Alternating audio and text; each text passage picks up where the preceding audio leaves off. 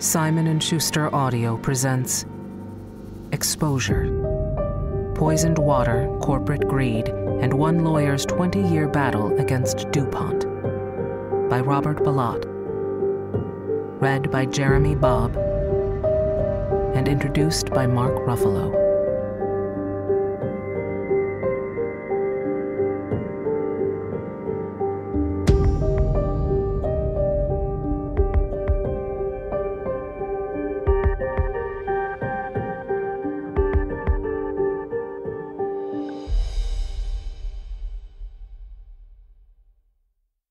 My sons, Teddy, Charlie, and Tony. They want to try and keep everything hushed up, like it's some kind of big secret. They won't tell us what it is. They don't want to talk to me, because I'm an old dumb farmer, I'm not supposed to know anything. But it's not going to be covered up, because I'm going to bring it out in the open for people to see. Wilbur Earl Tennant. Author's Note Facts and events set forth in this book are based on and a continuation of my efforts over the last several decades to warn of the past and continuing dangers to the public arising from the behavior of E.I. DuPont de Nemours and Company and others, presenting a likelihood of substantial harm to individuals and the public interest arising from exposure to PFOA and related PFAS chemicals. Such facts and events are based on and or derived from information, documents and or testimony and or statements available in public court filings, trial transcripts, regulatory agency or other public dockets or document repositories and or publications, media statements and or other means by which information is publicly available or otherwise contained in or available through a public record and or not subject to any court-approved confidentiality or protective order restrictions. All names and characters are unchanged. Out of an abundance of caution, publication of this book comes only after several public jury trials, including three multiple week-long jury trials in federal court in Ohio resulting in final jury verdicts and orders, including punitive damage verdicts and completion of full appellate briefing and oral argument. Certain dialogue and events are reconstructed to the best of the author's ability, with every effort undertaken to avoid revealing or disclosing any attorney client advice, confidences, or work product, and without waiving in any way any such privilege, protection, or other legally recognized or otherwise available privileges or protections for any client or other person, and no person shall interpret anything in this book as representing or constituting any such waiver, as any and all such alleged waivers are expressly denied. All opinions and dialogue of the author outside of quoted court transcripts are his purely personal opinions, recollections to the best of his ability, feelings, and statements and are not to be attributed to any current or former client, partner, law firm, or other person for any purpose.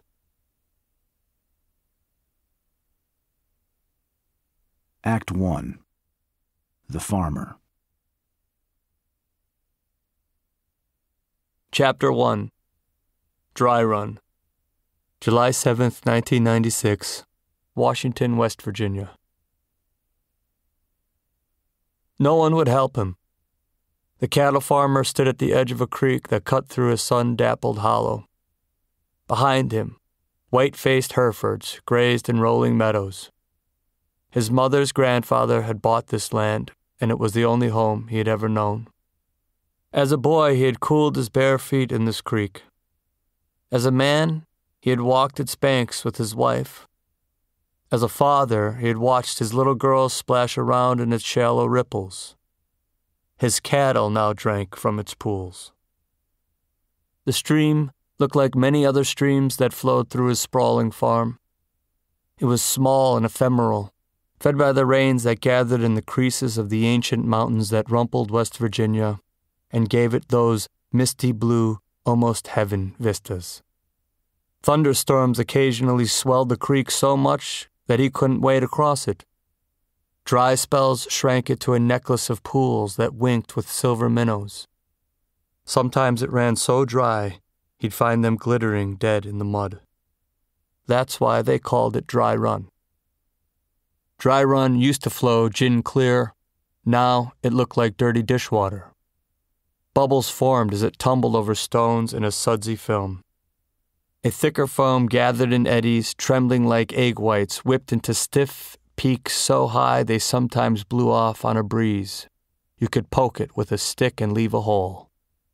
It smelled rotten.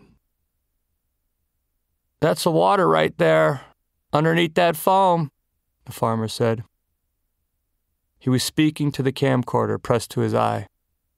No one believed him when he told them about the things he saw happening to his land.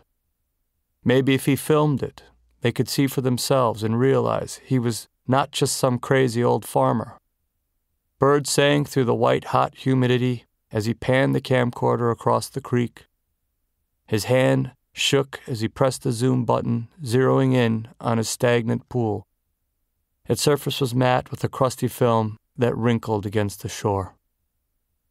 How'd you like for your livestock to have to drink something like that?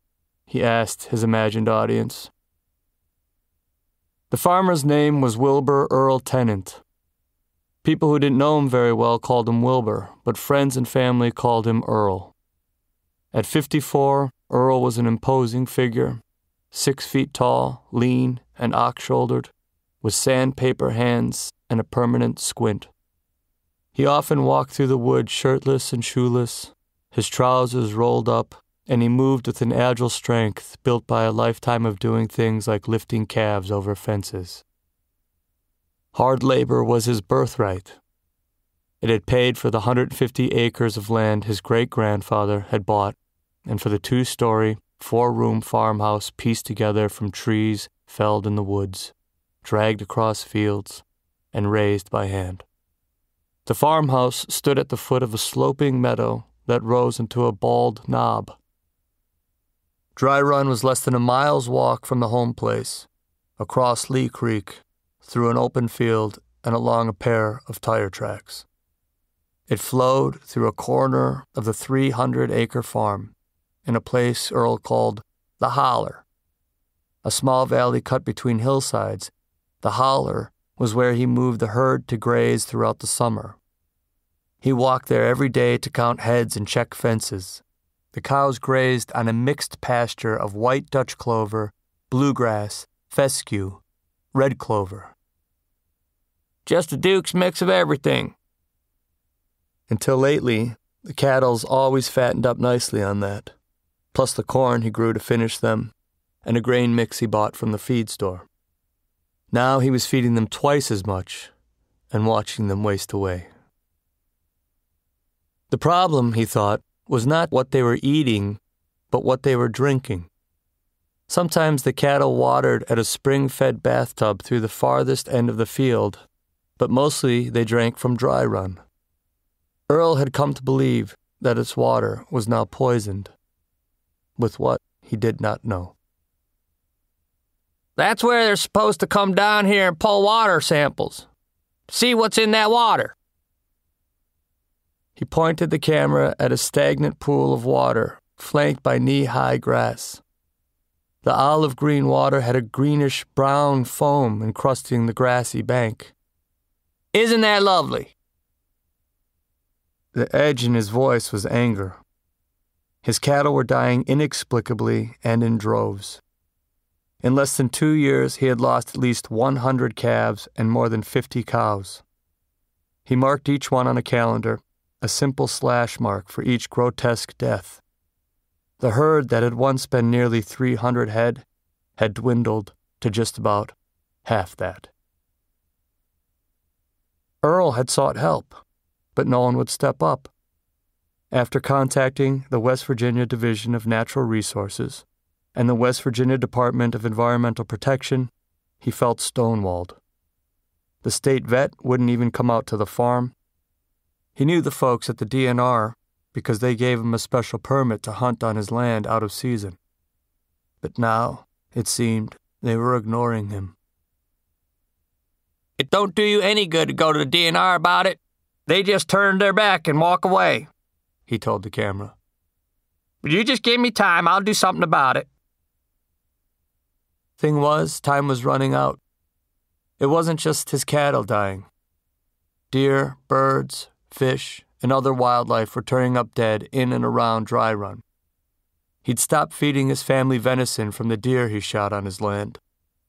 Their innards smelled funny and were sometimes riddled with what looked to him like tumors. The carcasses lay where they fell.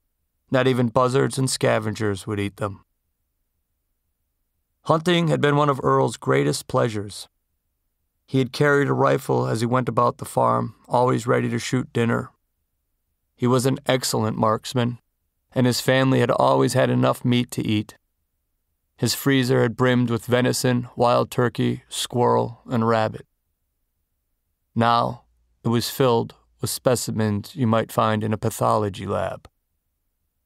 The problem had to be dry run, he thought. He hardly ever saw minnows swimming in the creek anymore, except the ones that floated belly up. He zoomed out and panned over to an industrial pipe spewing froth into the creek. But the point I want to make, make it clear, he said, zooming in. That's the mouth of Dry Run. The pipe flowed out of a collection pond at the low end of a landfill. On the other side of his property line, Dry Run landfill was filling up the little valley that had once belonged to his family. Its dumping pits were unlined, designed for the disposal of non hazardous waste, office paper, and everyday trash. At least that's what his family had been told 13 years before by the company that had bought their land. He didn't believe it anymore. Anyone could see that something was terribly wrong, not only with the landfill itself, but with the agencies responsible for monitoring it. Did they think no one would notice? Did they think he would just sit by? Somebody's not doing their duty, he said to the camera, to anyone who would listen. And they're going to find out one of these days that somebody's tired of it. Two weeks after he filmed the foamy water, Earl aimed the camcorder at one of his cows. Standing wall-eyed in an open field was a polled Hereford, red with a white face and floppy ears. He panned the camera a few degrees. Her calf, black and white, lay dead on its side in a circle of matted grass. It looked, at most, a few days old. Its head was tipped back at an awkward angle.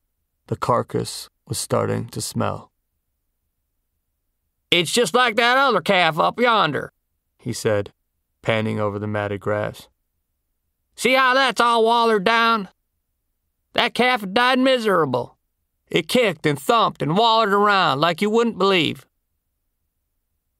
The calf was engulfed in a black, humming mist. He zoomed in. Flies. He panned again. A bonfire on a grassy slope.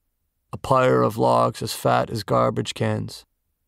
In the flames, a calf lay broadside, burning, black smoke curled into the daylight.